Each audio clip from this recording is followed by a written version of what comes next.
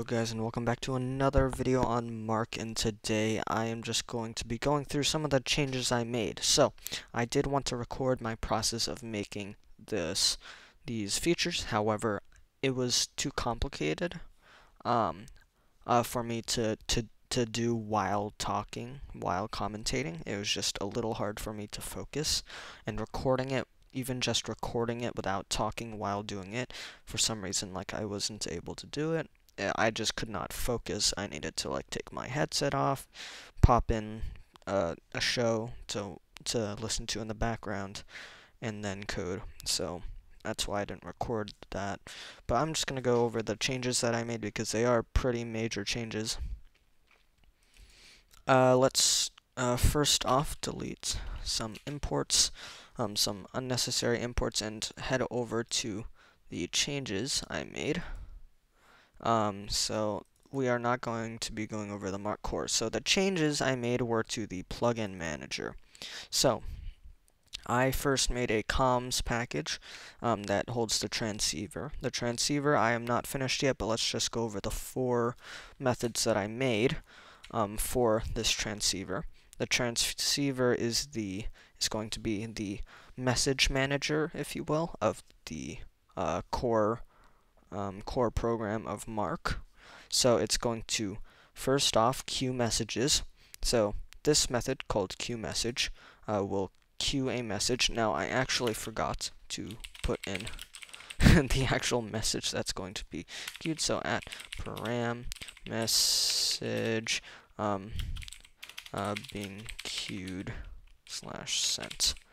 Okay, so uh, this public static void queue method queue message. It's a uh, static that way I can queue a message from wherever. So queuing a message means that it will write a message within the the specified uh, file. Um, and then uh, over here I have the check inbox. Checks inbox um, slash any unread messages. So this check inbox method uh, should actually be a public static string, right? And um, right now it's going to return null um, because uh, I haven't set up this feature, but this will uh, get the last uh, the last message that was received um, in the entire program. Um, so Uh, let's just delete this because we don't need that. Uh, get, that's redundant. That was the same thing as this check inbox method. And then we have this get last message. Um, uh, and the parameters is the file, is the origin. So this is just getting the last message from the specified uh, file. Um, and that is also going to be a string, which we will return null for now um, that, because I haven't set up that feature. Uh, but yeah, I just set up this transceiver file. Now the actual changes uh, happened in the um, these two, these three files, and mainly in this one giant plugin registry file. So let's start off with this object I made. It's called plugin because it represents a plugin. Uh, the plugin object holds the information to all of uh, all of uh, the attributes and all of the attributes. Okay, all of. Okay, sorry. Uh, let's restart. So this plugin object. The plugin object holds the information to all the attributes and children of the associated plugin. So, um, and actually, before we get into that, I forgot to add the version tag. I'm just gonna copy and paste it from here because I'm too lazy to write it myself. There we go. Um, so, since, yeah. Uh, so, this plugin uh, first has uh, the all three of these, or not three, all five of these attributes. So let's first start off with these uh, first four. So we have the default files, including directories. Uh, the default files would include the root directory, the jar file, the actual jar file, the program, or the program that is actually being run. Uh, the messenger and the receiver, these are text files which I just explained. The messenger is used the messenger file is used to send messages. So let's say a plugin needs to send a message to the main uh, to the core program, then it'll write that message inside of the messenger text file. And if the core, if this program wants to write a message to the uh, to the plugin, then it'll drop the uh, message in the receiver, kind of like an inbox. Next, we have the process. Uh, now, it's not set to final because this process object will be modified, um, and I'll explain that in a bit um, when we get to the plugin manager, or plugin registry, I mean. So, the process of the program that is not file final so that it can be uh, changed. Um, and then we, of course, just have our, our um, constructor, uh, which uh, just uh, initializes everything. Um, and let's move on to the plugin manager. So instead of a hash map, which I was uh, using before, in order to store and register, or yeah, yeah, in order to register and store all of the plugins, it's just an array list of plugins, because now plugins have more than one attribute, right? So that means that I can't just have a hash map and each each uh, uh, each collection uh, in uh, each collection.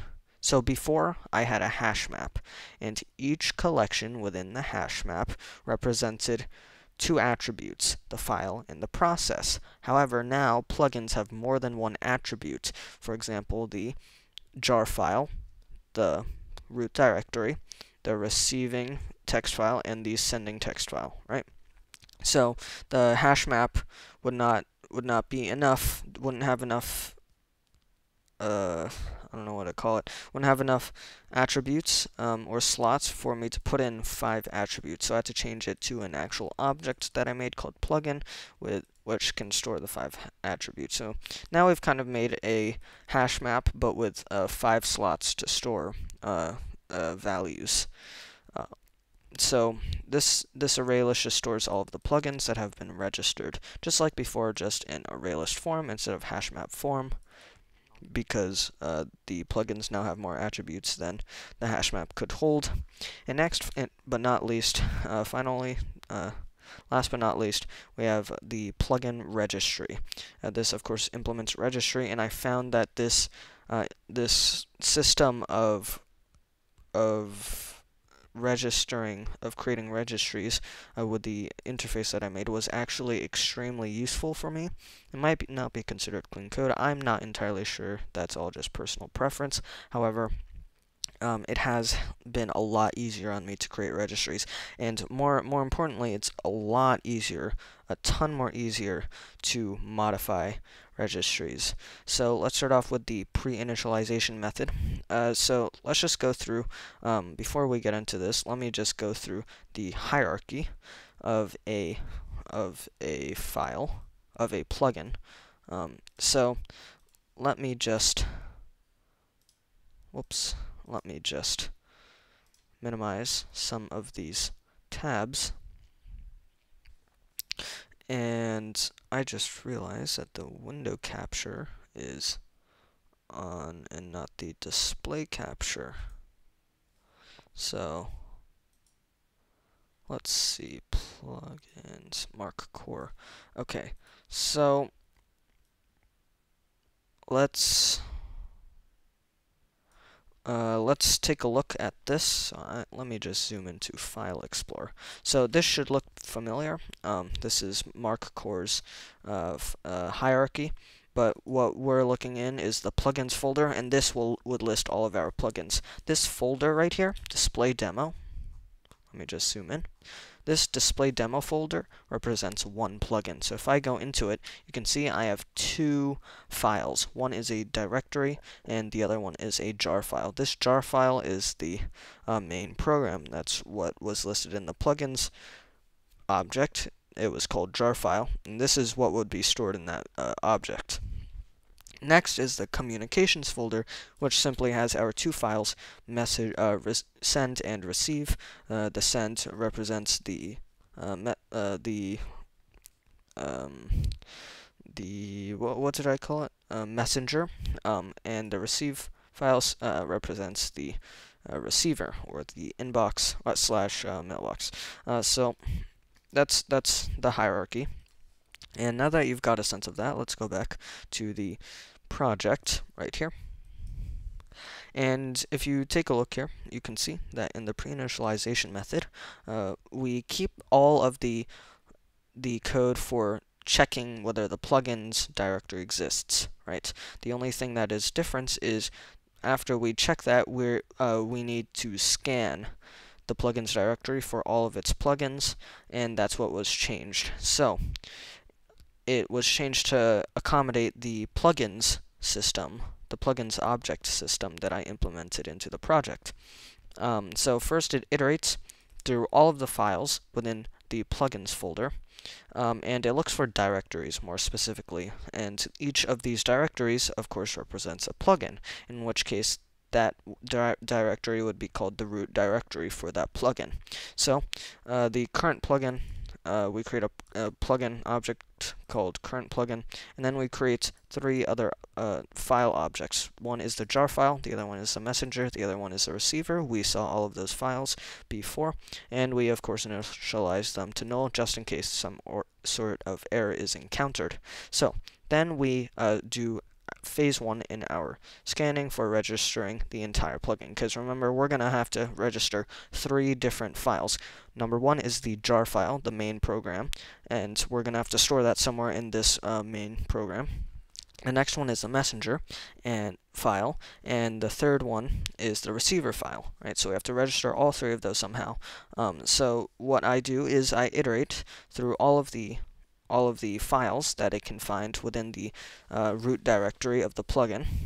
And it should find two files so far, at least. The first one is the comms folder, uh, which, which uh, is short for communications. Um, but uh, we want to find the jar file for now more specifically. So it'll look for a, jar, a file uh, called that has the extension .jar, in which case when it finds it, it will just set that equal to uh, this jar file object that we we just created. Right, and then once that's done, um, uh, well, sorry, sorry. Uh, otherwise, if it does not find the jar file and it finds the comms directory instead, um, then it will then go inside of that directory and iterate through all of the files in that uh, comms directory, right? It'll look through uh, look through all the files within this uh, this directory, the communications directory that it found, and then it will check if the file that we found is called send, uh, and if it is called send.txt, then it'll set the messenger to um, that file, and then if it's called receive, then it's going to set the receiver to the file called receive.txt, um, and then we just uh, skip a few lines. Um, this is just some debugging info. And uh, that means if it found all three of these files, um, then it will just simply uh, skip all of these if statements. If it doesn't, of course, then it'll print out some warnings. Uh, but if it does, then it's just going to say it's going to skip those if statements and go straight to this uh, line on line 105, in which case it'll set the current plugin object that we first created to a new plugin object.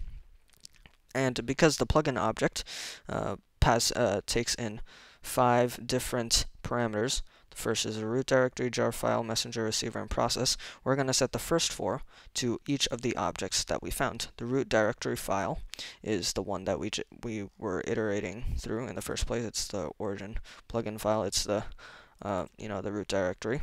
Um, and I should really name this uh, root I should uh, definitely refactory name this to root directory, right? Uh, that makes more sense. And then uh, we pass in the root directory, the jar file, the messenger, and the receiver, all that we have found. But the process we cannot pass in because we don't have it. We haven't created it, and we want to wait to create it when we're ready to run the pl plugin. So that's why we just pass in null. And that's why the plugin object isn't a record, because a record you, you uh, cannot change the values of its attributes later on. Um, and we're going to change the, va the value of process uh, later on. Um, uh, so that's why it's not a record, because originally the plugin object was a record, uh, and I wasn't able to do that. So uh, once it has registered the plugin with all of its attributes besides the process, then it will skip on to the initialization phase. Of course, once it's uh, uh, done that same registering sequence of all the files for all of the plugins, then it'll go to the initialization phase, in which case it will run all of the programs, right? So it's going to loop through all of the plugins that we have just registered in the plugin uh, array, and it will first create a process builder, and this is the same exact, uh, same exact uh, initialization method that we had before with this uh, minor difference of these two lines, um, line 127 and line 130, and this is just to accommodate the new system. So the first change is right here within the parameters of dot .directory, right? Uh, because it does process builder directory in order to set the preferred working directory. In which case we always create a new file, but then we have to add in the path. Now the path of the plugin, before it was just the jar file within the plugins folder, in which case we're running that, that jar file that's within the plugins folder, right? But we want to get the, the path of the folder um, that the that the uh, that the jar file that we're running is inside. So we just do plugin. So we get the plugin that we're that we're currently um, of the current iteration, right? And then we get the we get the root directory, and then we get the path of that root directory, not the absolute path, but the path um, from the point of view of that uh, file. And then once we've set that preferred working directory, then what we need to do is just uh, start that uh, that process builder, uh, meaning it's just going to execute all of the processes processes that we specified in the process builder, and we're just going to set that process equal to uh, the process that we defined inside of the plugin plugin object. Um, so that will change it from a null to an actual process, right? And then, when we run this program, uh, look in the console, you can see that the uh, plugin demo was run, was, uh, yeah, it was it was run successfully. And if we look inside of the console, this might look like a jumble of mess, but um, for me, it's it's very helpful. Uh, we can just skip all the way to this giant block where it says register slash info, right? and it's going to say attempt to scan plugins directory for plugins. Alright, we want to look at the actual plugin being uh, scanned. So, it found this display demo plugin. It found this directory, display demo. Um, it found the directory. So it's attempting to register the plugin. So now that it's found that that uh, that plugin folder, it's going to look through all of the children and and it's going to look for all three of these objects because it's already found the root directory, don't need to find it again, and it's going to state if it which uh, files it's found. So it then found the co communications directory, in which case it iterated through each of the files in the in the communications directory, and it found the receiver and the messenger. So then it registered these, and then after that. Uh, after that, it found uh, all the children for the communications plugin, and including the, it, it, found the, and then it found the jar file for the plugin, and then um, once it registered all of that, because it found all of the files it needed to, it, then it's just going to say it successfully registered this specific plugin, uh, which is true. So, then um, it's going to do that for each one. There, there will be more of these, uh, but once it's done, which there was only one, so it only did it once, it says successfully executed preinit, and that's all of the changes we made. And then it, uh, it, it wakes up, so now the program works. And that is the new plugin, uh, plugin uh, registry or plugin system uh, for Mark. Alright. Uh, thank you for watching. I had a lot of fun making this making this feature, and uh, hope to see you guys in the next video. See ya.